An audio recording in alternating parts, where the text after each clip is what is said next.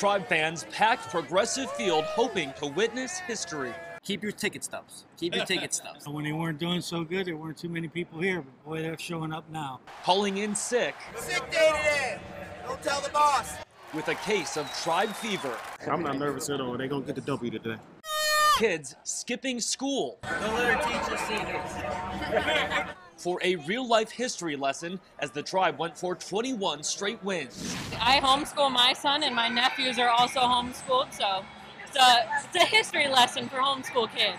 Ramirez, right here! The Salimos triplets here for one thing.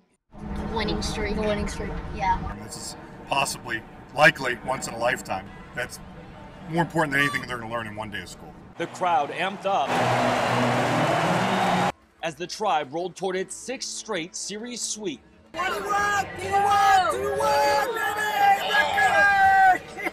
The Indians shattering the American League record for consecutive wins. It's a blessing for Cleveland. I think it's great. 21, got the American League record.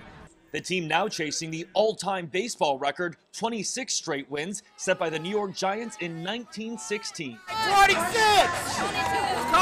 It's coming, 26! Tribe fans sure there is much more to come.